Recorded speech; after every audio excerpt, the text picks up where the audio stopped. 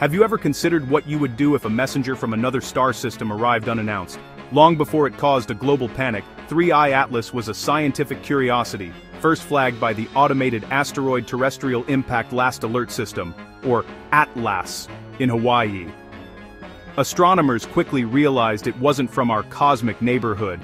Its trajectory was traced back to the constellation Lynx, and its speed was far too great for it to be captured by our sun's gravity, confirming its interstellar origin.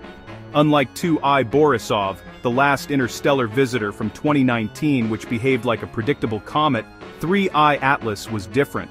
According to commentary from Dr. Robert Weryk, the astronomer who discovered the first interstellar object Oumuamua, the lack of a coma or dusty atmosphere, on 3I Atlas was the first major red flag. Comets are essentially dirty snowballs that release gas and dust as they heat up.